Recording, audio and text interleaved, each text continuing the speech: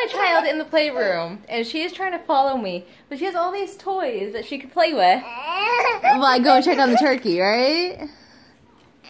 But she wants to be with her mama. All right. Got the couch. Come on. Come on, follow me. Oh, look at her coming. Oh, you want me to carry you? Say, how can I say no? Oh, all right. We're checking on the turkey. The turkey looks like it's finished. I need to check the um, thing in the front, the thing that goes off in the front. This is our turkey. This is our stuffs. And uh, yay, it's all finished up.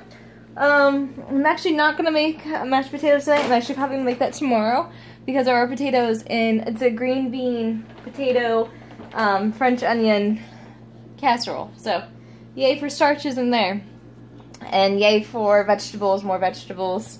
And uh, if it was real Thanksgiving, we have roasted vegetables and all kinds of things. But this is fake Thanksgiving, so it's basically easy Thanksgiving.